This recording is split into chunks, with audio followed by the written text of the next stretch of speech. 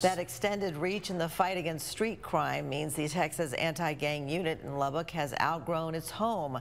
So this morning, Lubbock County Commissioners approved handing over a plot of land that will grow that unit's operations throughout the South Plains. KCBD News Channel 11's Natalie Falconberry joins us live from the Lubbock County Detention Center with the location and why it's so necessary. Natalie?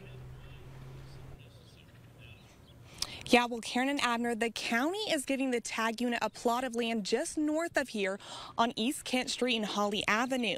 The new anti-gang center will help combat the growing gang activity we're seeing in Lubbock and across the South Plains. All in favor? Aye. Any opposed? Motion carries. The criminals are changing.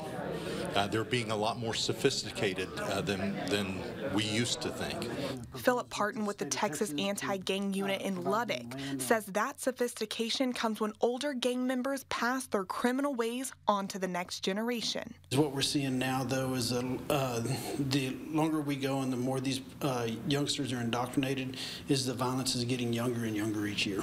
Lubbock County Judge Curtis Parrish says a new facility is the first form of action to keep Lubbock safe. We need these good law enforcement officers talking with each other, communicating with each other, working with one another in combating this crime in Lubbock County. And we're very proud of the of what this facility can bring. Not only will this facility bring resources to Lubbock County, but Agent Parton says it will also provide extra manpower across the South Plains. I think this is a good, uh, good facility that'll help all of us. It'll give us room to grow, and it'll give us room to uh, have longevity and be there for a long time doing doing our mission. The future of this facility will take place from state funds, but if everything goes as planned, TAG's expecting to break ground in the next two years. Karin and Abner.